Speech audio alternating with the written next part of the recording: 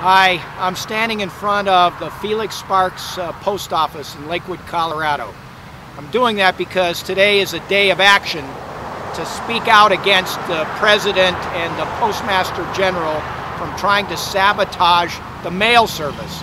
Uh, the United States Post Office has been an institution, a pillar of our democracy since our country was founded, and in an effort to try to suppress the vote and make it difficult for people to get their ballots in, the president has taken a path to try to make it difficult for the post office to do its job. Going back to D.C.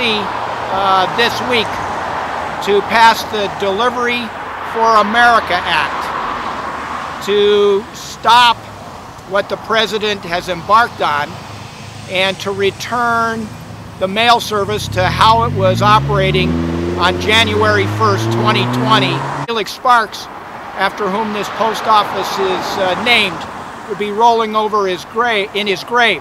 A brigadier general, a Supreme Court justice, um, the head of the Colorado National Guard, fought for the liberties uh, that we all enjoy in this country and not an authoritarian uh, kind of administration that's trying to change the post office. I'm going to take action in the Congress this week uh, and vote on this act to stop the president and the postmaster from making changes that make it hard for people to get their mail through. And not only that, what's really important is by slowing down the mail to try to suppress the vote, the president's making it so difficult for people to get their prescriptions you know, veterans get their prescriptions through the mail.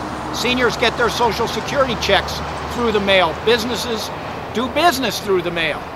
And to try to protect himself and his elect re-election, the president's affecting all of that. So we're taking a day action. I'm here standing in front of the Felix Sparks post office. We're not going to let this happen. We want the mail to go through without any obstacles thrown up by the President of the United States. Thank you.